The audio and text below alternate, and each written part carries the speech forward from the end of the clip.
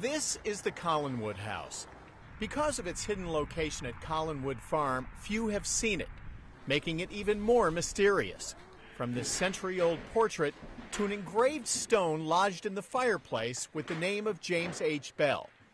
The date, 1861, would make it the oldest home in Plano. We think it dates to the Civil War period, both in terms of its form, how it is shaped. It's what we call an I house, and it's a form that originated in the middle of the country, um, mostly in states that start with the letter I, so Illinois, Iowa. The two story cedar shingled farmhouse must be moved.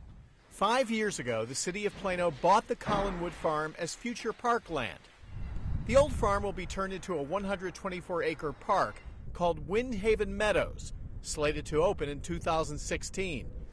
The house can't stay, but the Parks and Recreation Department wants to find a way to save it.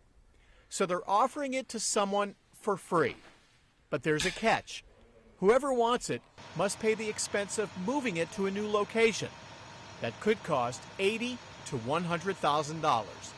That is a lot of work um, and, and, and a lot of expense and a lot of commitment. Um, and so the right party is going to have to demonstrate that they really have that commitment to that. Originally, the Parks Department was told the Collinwood House, named for Collin County and its wooded location, had no historic value.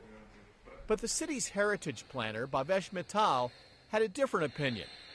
A consultant hired by the city agreed. And now, the goal is to find the house a good home with an owner who wants to restore it and establish historic status. We really would like to keep it in the area if at all possible.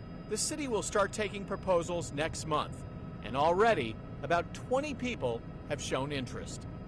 I'm Steve Stoler for the City of Plano.